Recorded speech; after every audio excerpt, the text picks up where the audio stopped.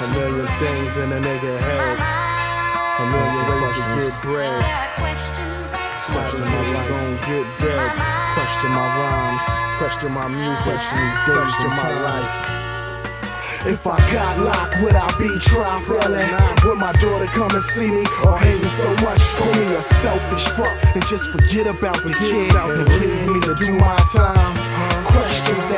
Questions that run through my mind. If my father died now before I make it, how would I take it? Pause for my music or go on like I never knew him? Truth is, I lose it. For now, I deal with it when it comes. When it if I lost my job the week before Christmas and I didn't have a gift to give, would I end it all with the suicide finish?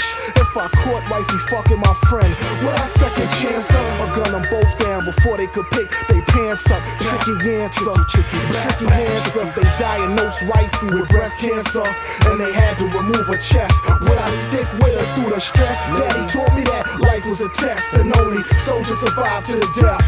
I'm a general, four or five swabbing the deck. What we divide in the end over money matters like the other rappers. This does happen. I hate to think of that of fellow peers, but I must do what's best for the God. Go excessively hard when I'm rapping these bars, collecting these thoughts, questions that run through my mind. A mile a minute. I can't stop him. I can't answer them all.